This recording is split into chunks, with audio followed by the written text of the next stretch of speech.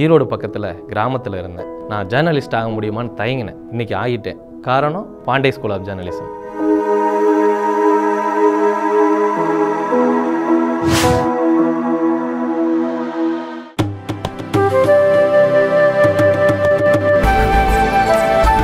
activity बहुत जल्द मिलेगी thank you so much Thank sir and I support this bill Honorable Member Sri P. Ravindranath.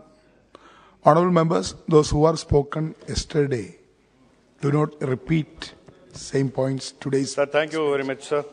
Sir, history is uh, witness to the contribution and sacrifice of the tribal communities to our nation building.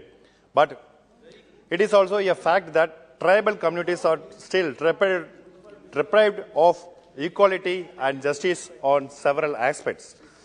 Since uh, 2014, several efforts have been taken under the vision of our Honorable Prime Minister, Sri Narendra Modi ji, to ensure the upliftment of tribal communities across our nation. Thanks to our India government, we now have the pride and privilege of having Honorable Srimati Draupadi Murmuji, the first member of the tribal community to ever represent the highest office of the President of India. Sir, I wish to submit a key representation for the consideration of the government. That is, with regard to the demand for reservation of Dalits and Adivasis in the private sector.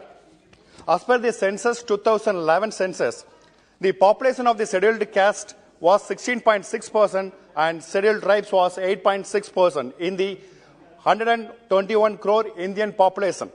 Together, they form a quarter of the total population of our nation.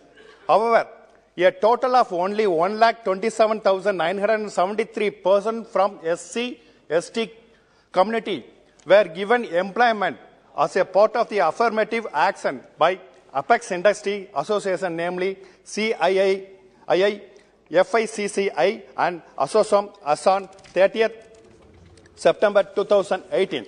In the light of the words of our Honorable Prime Minister back in 2015, and I quote, India will prosper when our tribal communities prosper.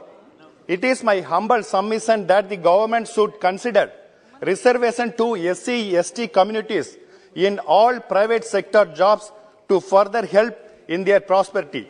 Sir, reservation in private can be given by an executive order as clarified in OMs of the government. However, to give constitutional sanctity, I request the Honorable Minister, through you, sir, to propose a suitable amendment or legislation in this regard. Also, I wish to, I wish to request the Honorable uh, Minister to consider the setting up of tribal museum in Tamil Nadu. Concluding my speech, I express my confidence that this bill will help the Hatti community, to prosper further in their enclaves. Thank you very much. Thank you, Honorable Member Sri Indra Hang Subbaji.